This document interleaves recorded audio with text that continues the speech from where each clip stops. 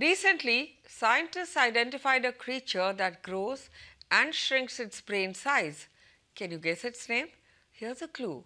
The creature is an insect. I'll give you another hint. The insect is found only in India. Well, I'm Nidhi Kumar and you're watching Science Time, a show that brings you the best that science has to offer, from exciting developments in science and technology to futuristic solutions.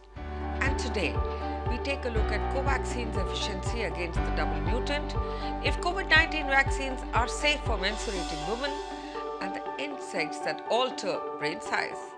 We take you to story number one.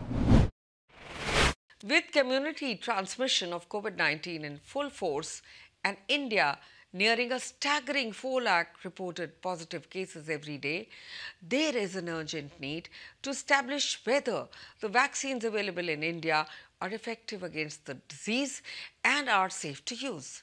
One of the available vaccines and the only indigenously developed vaccine against COVID-19 in India is Covaxin.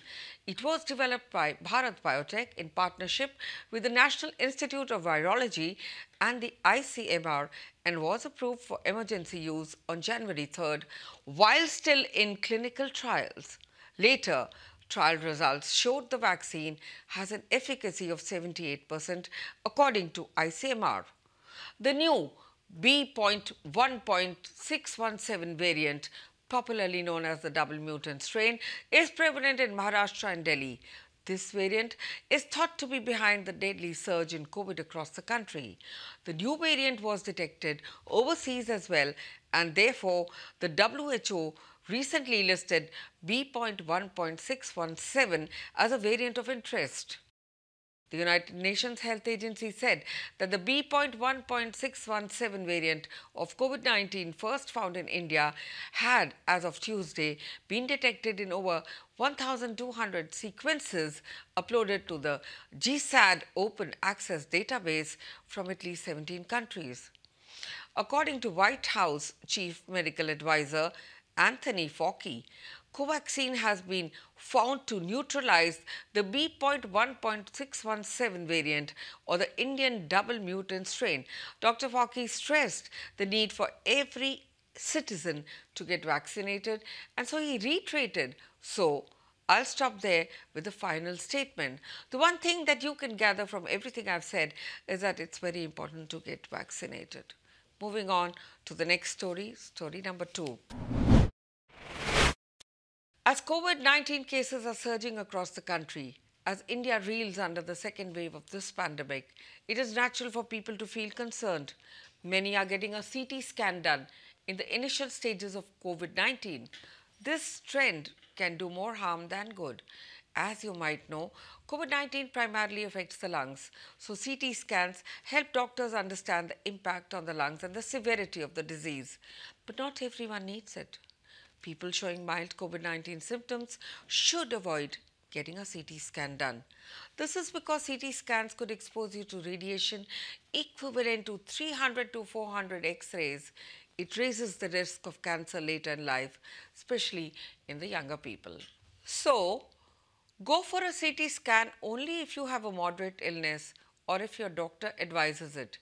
If you want to check the state of your lungs, opt for a chest X-ray instead. Now that we've cleared this, we'll talk to you about another pressing issue, misinformation. They can do serious damage by driving vaccine hesitancy.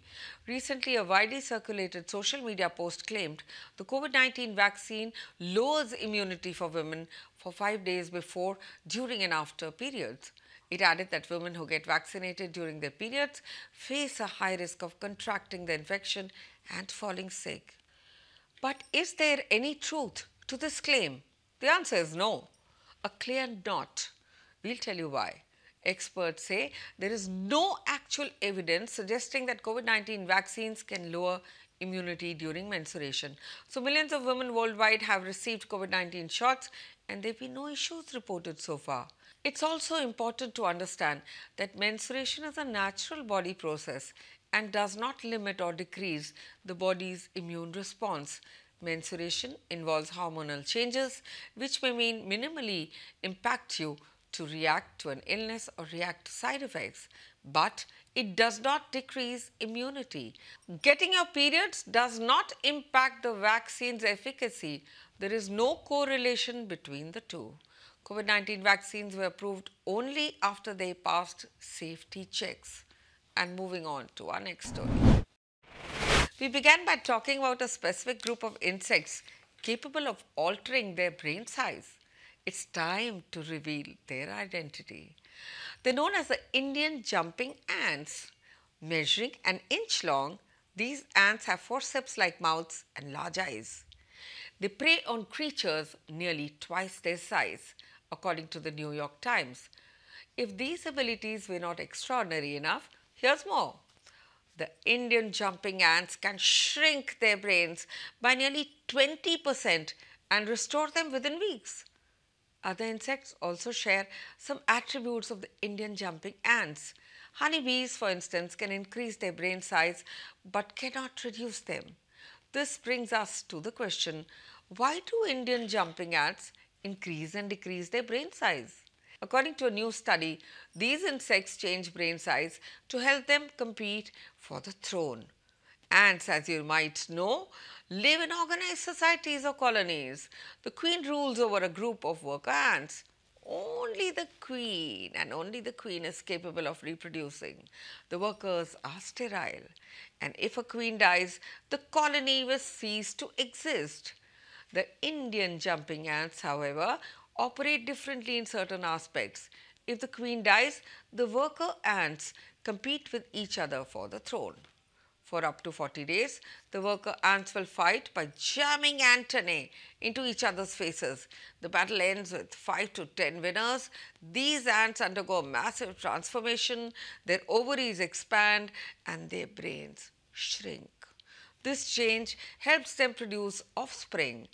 Unlike workers, the queen does not need a large brain to perform mental tasks such as foraging or battle predators. Scientists then wondered if they could induce gamergates to resume their original state, worker ants. What they found was astounding. By cutting off social interactions and care, the pseudo queens went back to being workers even after returning to their colony. And when scientists dissected these small insects roughly six to eight weeks later, they saw that the internal organs switched back to their original size. In the end, I'll urge all individuals above the age of 18 to get themselves vaccinated against COVID 19. These are times that are difficult, so stay healthy, stay safe, keep watching India Science. Namaskar.